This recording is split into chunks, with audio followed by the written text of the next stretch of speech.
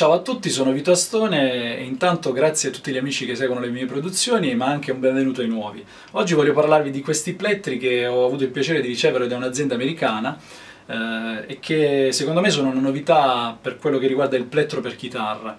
Eh, ho fatto una piccola ricerca in rete ed effettivamente non c'è nulla di questo genere, quindi sono contentissimo mh, mm, di aver avuto questa opportunità di provare questi plettri e di utilizzarli.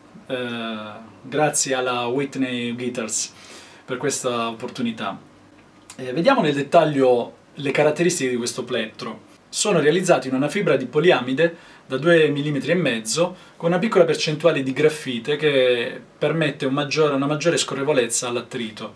Eh, sono dei plettri che si sentono, cioè non sono abbastanza light, non sono... No? E questo comunque permette di avere maggior controllo del plettro. E la loro particolarità è sicuramente la forma, perché hanno tre punte, che tra un po' vedremo come vengono utilizzate, ma c'è anche un altro aspetto importante, quello della durata. Il, il costruttore parla effettivamente di, di, oltre mille ore di utilizzo.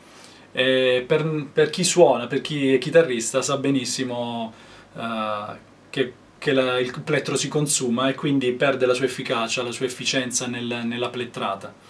Eh, vi invito a visitare il loro sito e, e, ve li consiglio perché io dopo 20 secondi di utilizzo già, mi sono già trovato benissimo e, e comunque il suono eh, viene caratterizzato tanto da, da, da, un plettro come questo.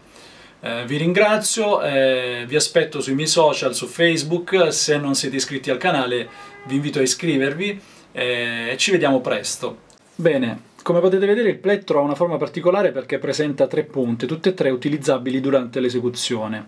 Eh, questa che è la più evidente, eh, molto utile eh, per gestire bene eh, l'attacco delle note e avere un, un ottimo controllo nell'esecuzione. Poi ne abbiamo un'altra media eh, per rendere leggermente più morbido il controllo e le note, ma anche molto utile per generare gli armonici.